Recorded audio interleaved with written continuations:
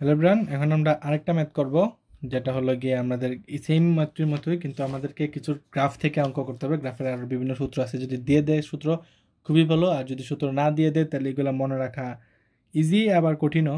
যদি মনে রাখতে পারেন তো ভালো, আর না রাখতে পারলে তার কিছু করার নেই, অঙ্ক শেষ। কোয়েশনটা পড়ি কি বলছে? নাইন পয়েন্ট ফিফটিন আর কি আমাদের। এটাকে solve the nine point eighteen ওই যে নাইন পয়েন্ট ফোরটিনের যে ম্যাথটা ছিল, এটাকে ব্রোমস মেথডে চল সলভ করতাম। ব্রোমস মেথড ব্রোমস মেথড হলো এই যে ব্রোমস মেথডের জন্য আমাদের দুইটা ইয়ে দেওয়া থাকে। গ্রাফ দেওয়া থাকে।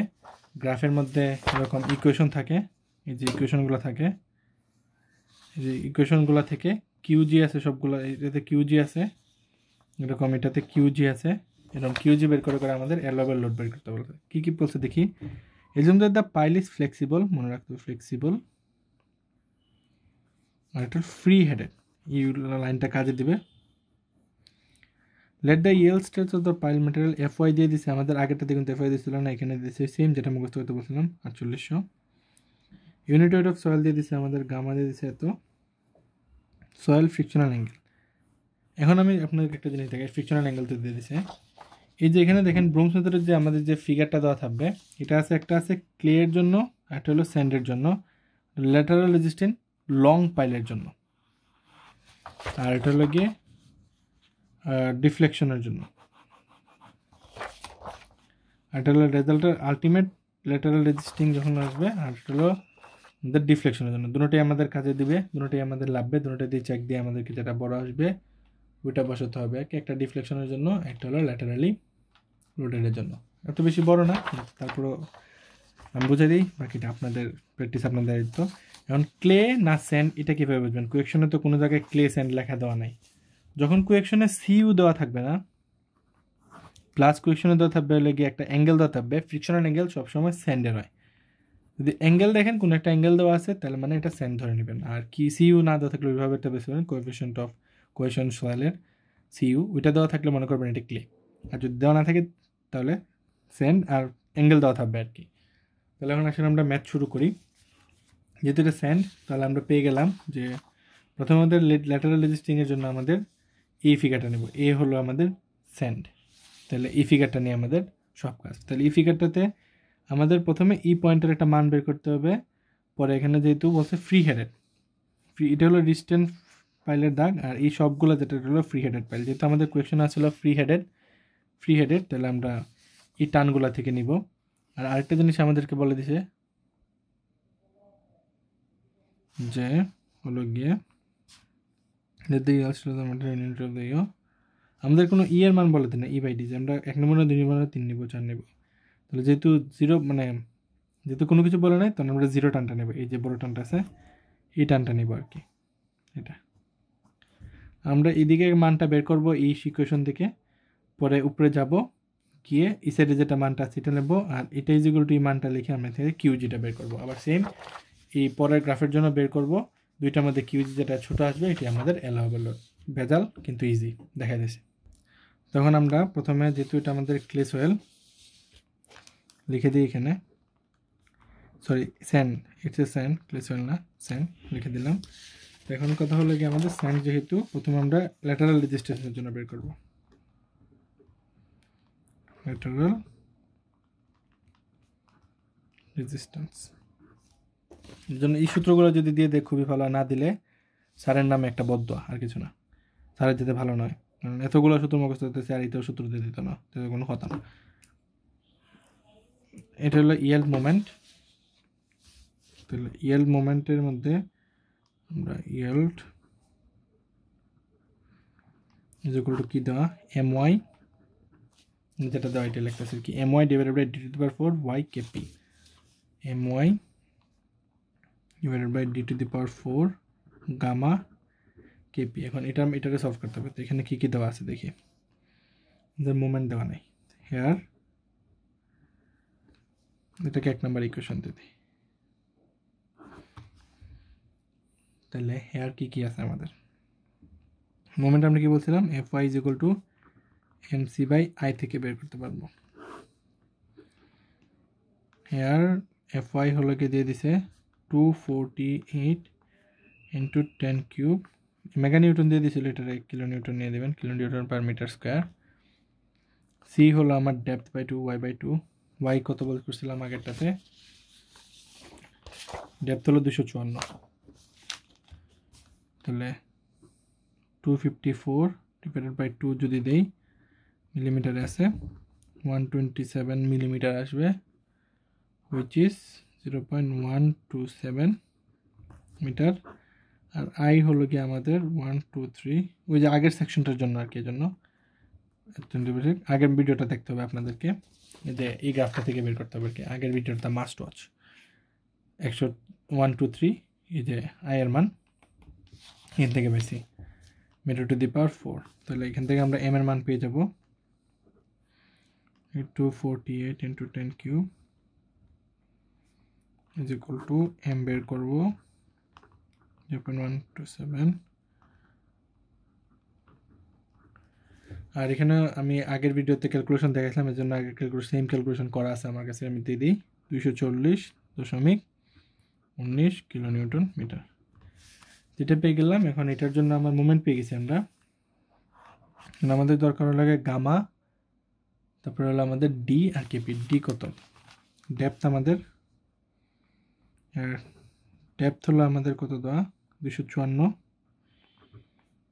মিলিমিটার। এটারে মিটারে নেই, zero point two five four metre. Gamma দেওয়া আছে কোয়েকশনে, কোয়েকশন কই এইটিন কিলো নিউটন। তাহলে eighteen kilo newton per metre cube আর হলো কেপি। পরের কেপি সূত্র সেম আমরা যেটা জানি যে আগে পড়ে আসলাম যে tan square forty five divided by শুধু plus five by two tan square five দেওয়া আছে এখানে কত? থার্টি ফাইভ ডিগ্রি তাহলে forty five plus thirty five by two যদি দিই তাহলে কেপি ইজিকুল টু চলে আসে আমার three point six nine three point six nine সব পেয়ে গেছি এখন আমরা ইয়েল মোমেন্টটা পেয়ে যাব তো অর্থাৎ from equation one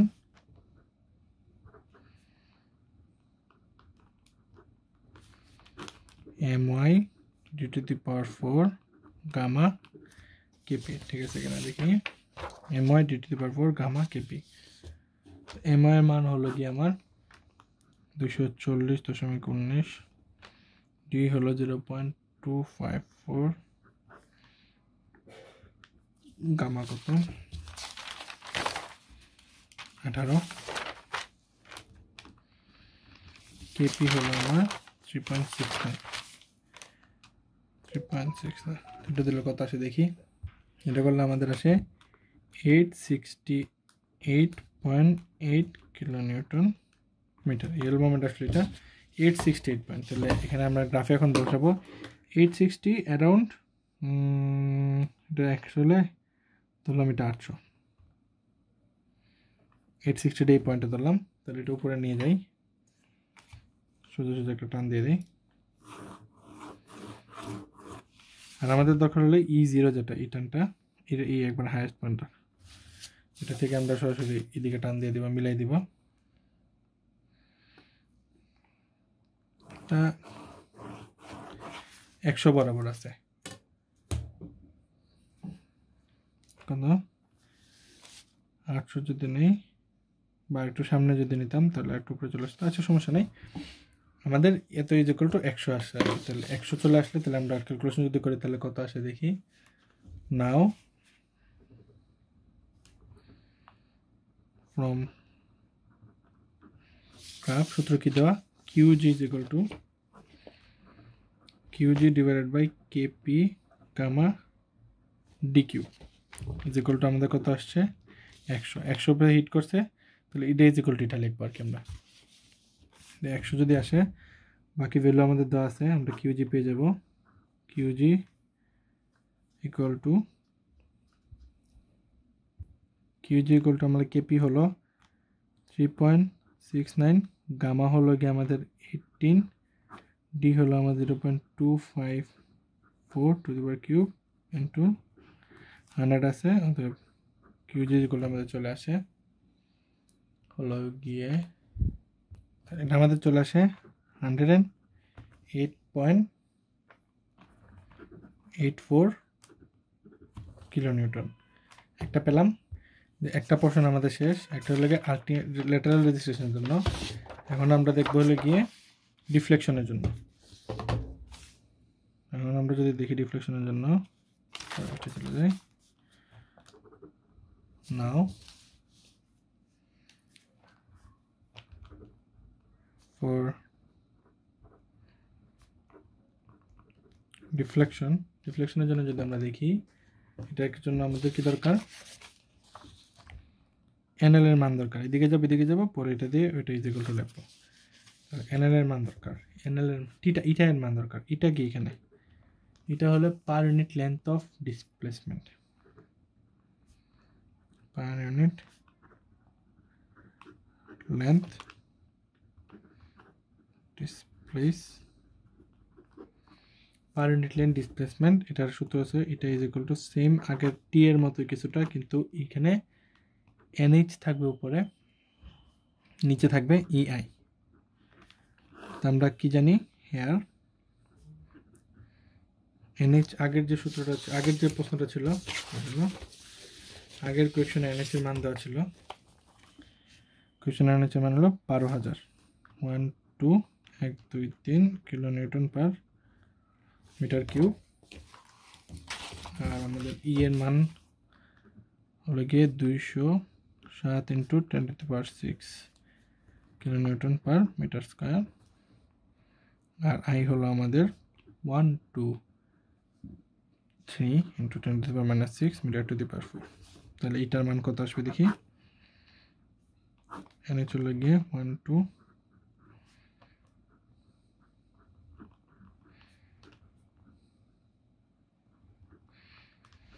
যদি ক্যালকুলেশন করি, তো এটা ইজ আমার চলে আসবে হলো গিয়ে zero point eight six metre inverse one তাহলে আমাদের কী বের করবে? এটা dimension length dimensionless length dimension length এটা এটা আর কি।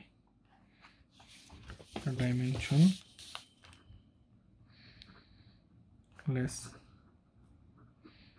লেন্থ ইজ টু এটা এল এটা হলো আমার zero point eight six L হলো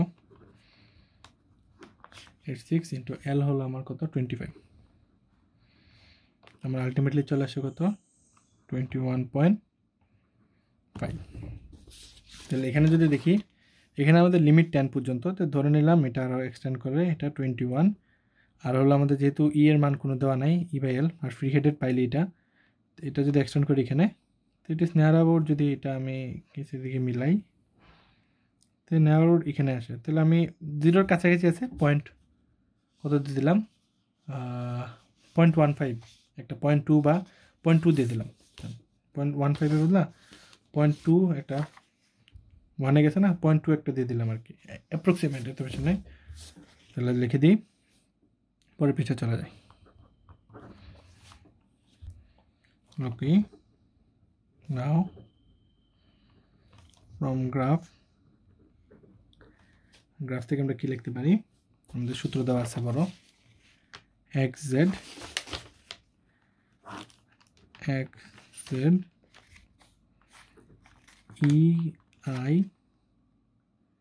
E I to the power three by five, R N H to the power two and half zero দিচ্ছে হলো Q G into L. Is equal to আমরা zero point two ধরে নিলাম। এখানে আমাদের কী কী দেওয়া আছে দেখি? হ্যাঁ এক্সাক্ট আগেরটা ডিসপ্লেশন ছিল, দেখছিলাম এইট মিলিমিটার দেওয়া ছিল। কোয়েশনটা দেখি। আগের, এই জন্য বলি যে আগের ভিডিওগুলো দেখে আসবেন, তাহলে সুবিধা হবে। আগেরটা ডিসপ্লেশন এইট মিলিমিটার দেওয়া ছিল। এখানে, এটাতে কোনোটা দেওয়া নাই কারণ আগেরটা থেকে নিতে বলছে তো ওই জন্য। এটা যদি মিটারে নিই zero point zero eight metre EI এর মান এনএচ এর মান সব আমরা আগে আগে লিখে আসছি জন্য এখানে আর রিপিট না লিখি। ডাইরেক্ট যদি লিখি এক্সেড হলো zero point zero zero eight EI হলো আমার দুইশো সাত into one two three into minus six to the power three by five one two এক, দুই, তিন টু এন ফিফথ সরি, জায়গা কম হয়ে গেছে। এখানে লিখি। এটির মান তো আমাদের কথা ছিল আছে এইট অঙ্ক এর পরই শেষ, অঙ্ক এর পাশে নাই এই জন্য আর নাই। One two three to the power three by fifth into one two এক, দুই, তিন। To the power two by fifth divided by Q G বের করব। এল হলো twenty five is equal to হলো জিরো পয়েন্ট টু মানে এখান থেকে কিউ জি বের করব। ইকুয়েশনটা পুরোটা বসাই। কত আছে? উপরে zero point zero zero eight into ten to the power six ten to ten to the power minus six to the three by five দুই তিন to the power two by five divide by Q G হলো গিয়ে আমার X into twenty five is equal to point two shift calculation is equal to আমাদের চলে আসে হলো গিয়ে একটু টাইম লাগে এগুলো, কারণ এই যে আপনার মাথায় যে টাইমটা নেবেন, এটা ক্যালকুলেশন করে ঘুরে ঘুরে পরে আলটিমেটলি অ্যান্সারটা জানিয়ে দেবে। বিফাকে আপনারা অন্য কোনো পরের কোয়েকশনে যাওয়ার বা কোয়েকশন অ্যানালাইজ করবেন, পরে কোনটা দিবেন আর কি। এই যে এই যে টাইমটা এটা ক্যালকুলেশন করবে। যে চলে আসছে thirty point one five thirty point one five kilometre ছোটো কোনটা? এটা ছিল আমাদের একশো। আলটিমেট জন্য একশো আট থেকে এটা ছোটো, তাহলে এইটাই হবে আমাদের।